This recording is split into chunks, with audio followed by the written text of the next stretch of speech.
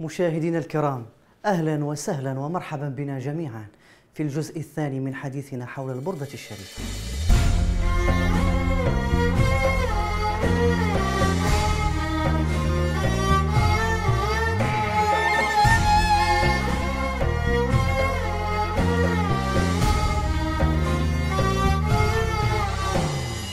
توقفنا مليا مع صاحبها وسبب كتابتها واليوم نقف عند فصولها كتبها البوصيري في حوالي 175 بيتا من بحر البسيط وقافيتها الميم وقسمها إلى عشرة فصول رائعة جدا فصول كلها تدور حول سيدنا ومولانا محمد صلى الله عليه وسلم جماله وجلاله وآياته وجهاده وشفاعته ما بين مستجيب منه Dhavrahava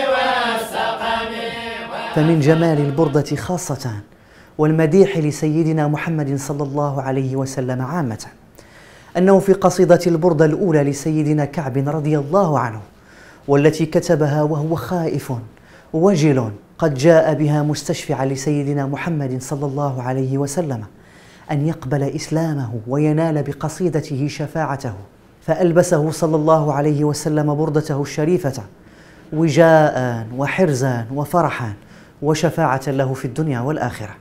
قصيدته التي كان مطلعها بانت سعاد فقلبي اليوم متبول. مطلعها على شاكلة مطالع قصائد أهل الجاهلية آنذاك. وبعده بقرون جاء البوصيري رحمه الله وكتب هذه القصيدة الرائعة المباركة الخالدة والتي مطلعها أمن تذكر جيران بذي سلم مزجت دمعا جرى من مقلة بدمي فينال رضي الله عنه بردة سيدنا محمد صلى الله عليه وسلم في المنام والقصة ذكرناها في الجزء الأول.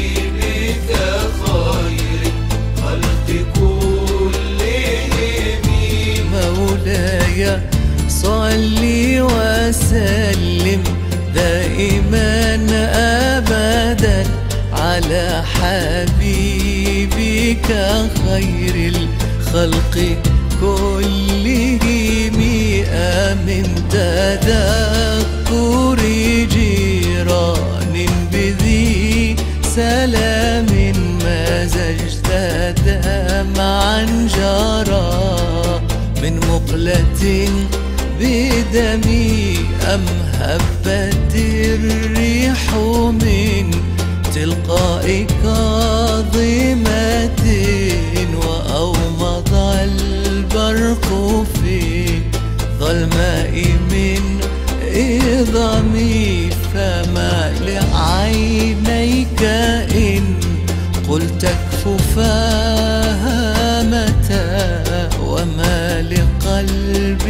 إن قلت أستفق.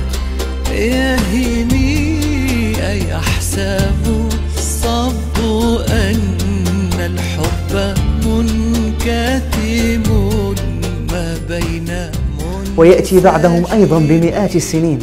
إمام الشعراء أحمد شوقي ليكتب قصيدة رائعة جدا وهي نهج البردة على منوال بردة البصير رحمه الله تعالى. والتي مطلعها ريم على القاع بين البان والعلم أحل سفك دمي بالأشهر الحرم. فرأى أحد أئمة الأزهر الشريف في منامه أن سيدنا محمدا صلى الله عليه وسلم يأمره في المنام أن يذهب إلى قصر شوقي آنذاك لأنه يحتضر في تلك الليلة وأن يبشره قائلا قل له بأن الله قد غفر لك بمدحك لي. فجاءه وأسره بالرؤيا فقام وهو يحتضر. يقرأ تلك الآيات من قصيدة سلو قلبي. أبا الزهراء قد جاوزت قدري بمدحك بيد أن لي انتسابا. فما عرف البلاغة ذو بيان إن لم يتخذك له كتابا. مدحت المالكين فزدت قدرا وحين مدحتك اقتدت السحابة سألت الله في أبناء ديني وإن تكن الوسيلة لي. أجابا مولاي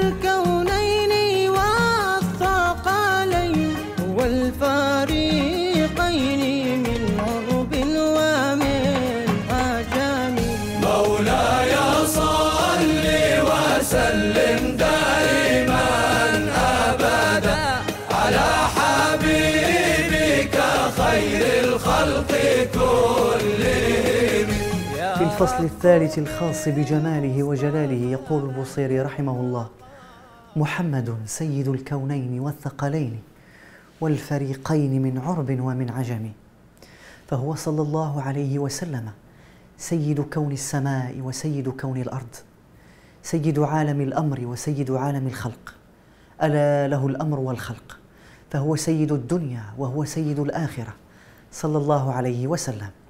سيد الثقلين من جن وإنس وعرب وعجم. فقد اما صلى الله عليه وسلم بالأنبياء وهم خير أهل الدنيا. واما بأهل السماء وإمامهم جبريل عليه السلام. يقول الإمام السبكي نبينا لو لم يكن خير الورى.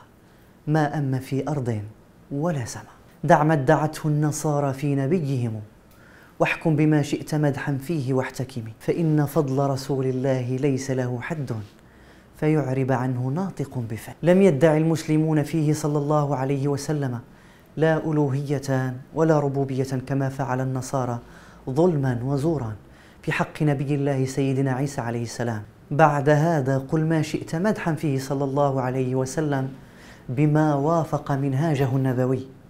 وقول الشعراء كل الشعراء من أول الدنيا. إلى آخرها لن يبلغ حد وصف كماله وجماله وجلاله صلى الله عليه وسلم.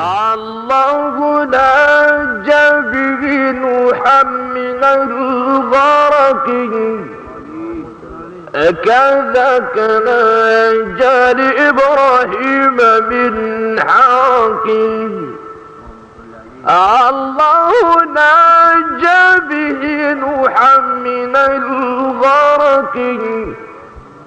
كذاك نجى لإبراهيم من حرق أقسمت بالله رب الناس والفلك وحق من خلق الإنسان من علك إن الذي أخجل الأقمار في غسق فوق النبيين في خلق وفي خلق. ولم يدان في علم ولا كرم مولاي صل وسلم دائما.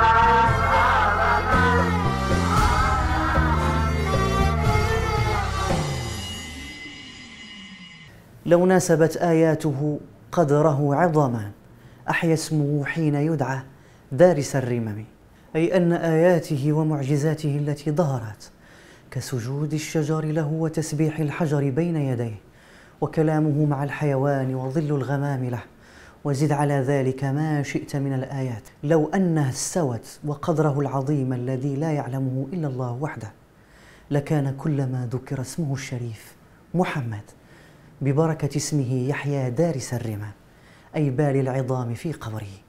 لكن لن تبلغ آياته قدره رحمة بنا صلى الله عليه وسلم.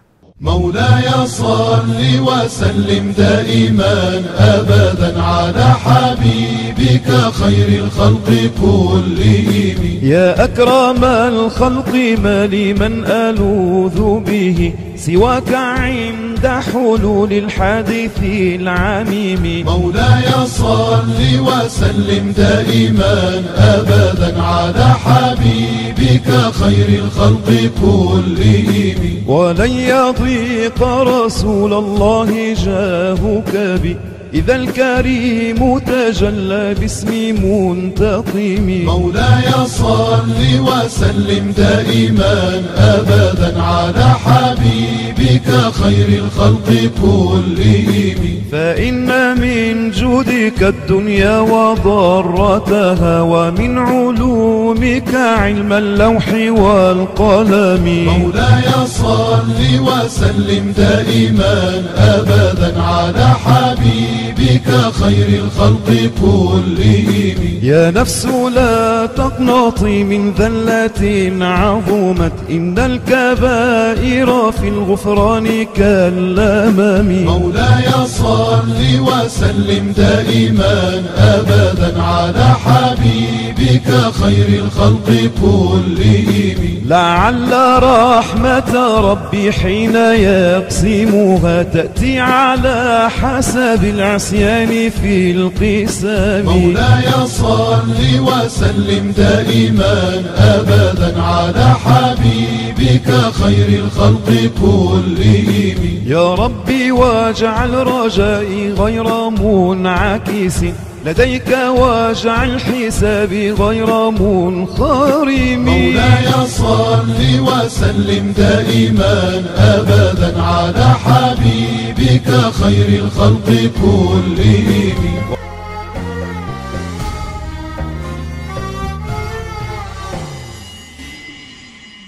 بعد ثمانية فصول خلت نقف عند مقصد البصيري من كتابة القصيدة بالمجمل.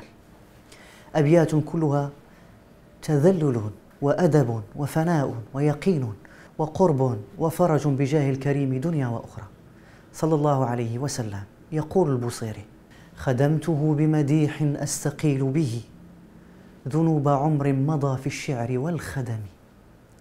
إذ قلداني ما تخشى عواقبه كأنني بهما هدي من النعم.